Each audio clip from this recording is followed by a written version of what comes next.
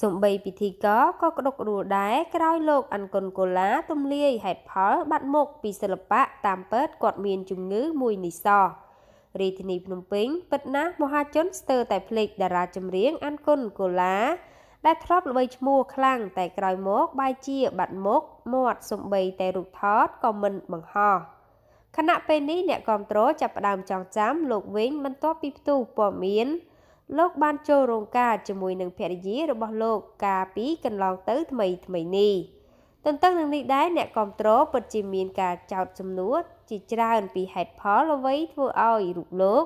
ហាក់បីដូចជាលែងដៃពីសិល្បៈបែបនេះទៅវិញតែគួរបញ្ជាក់ផងដែរថាក្រោយពេលមានចម្ងល់ច្រើនបែបនេះកម្មវិធីស្រីហ្វាន់បានអញ្ជើញលោកអាន់កុនកូឡាធ្វើជាភ្ញៀវកិត្តិយសជាមួយនឹងសំណួរចាក់ដោតពីមូលហេតុ ដែលលោកបានលេងដៃពីសិល្បៈនោះរូបលោកបានទម្លាយប្រាប់ថាលោកមានជំងឺបាក់ទឹកចិត្តព្រោះក្នុងវិថីសិល្បៈនេះលោកបានជួបមនុស្សជាច្រើនដែលមិនស្មោះត្រង់ជាមួយខ្លួន និងជាច្រើនចម្ពោះផ្សេងទៀតដែលធ្វើឲ្យរូបលោកចាប់ផ្ដើមមិនចូលចិត្តជាមួយគ្នានេះលោកក៏កាន់តែបាក់ទឹកចិត្តក្រោយពេលខ្លួនធ្លាក់ប្រជាប្រិយភាពមិនតែប៉ុណ្ណោះដោយសារតែជំងឺបាក់ទឹកចិត្តនេះមានរយៈពេលយូរទើបធ្វើឲ្យ វាវិវត្តទៅជាជំងឺ stress ដែលធ្វើឲ្យរូបលោកពិបាកក្នុងខ្លួនគ្មានមិត្តភ័ក្តិត្រូវនិយាយជាមួយចូលចិត្តនៅតែក្នុងបន្ទប់និងគិតច្រើនហួសហេតុរហូតគេងមិនបានគ្រប់គ្រាន់លើពីនេះទៅទៀតលោកចង់ឲ្យបាត់ឈ្មោះអានកុនកូឡានេះចេញពីសិល្បៈមិនបង្ហោះរូបថត និងច្រានចោលរាល់ការអញ្ជើញឲ្យបានច្រើននៅការប្រគំតន្ត្រីជាច្រើនដោយដាក់លេសថារូបលោកមានភាពរវល់ទុរៈផ្ទាល់ខ្លួន។ ចានេះគឺជារឿងមួយដែលគួរឲ្យអាណិតតារាចម្រៀង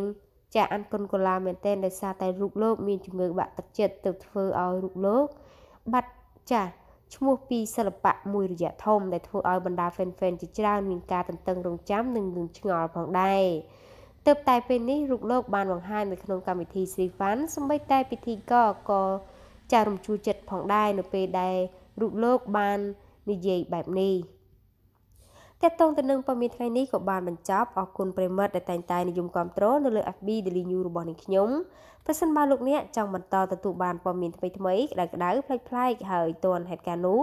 សូមជួយចុច Like Share និង Subscribe លើ Channel របស់នាងខ្ញុំផងដើម្បីបន្តទទួលបានព័ត៌មានថ្មីថ្មីបន្ថែមទៀត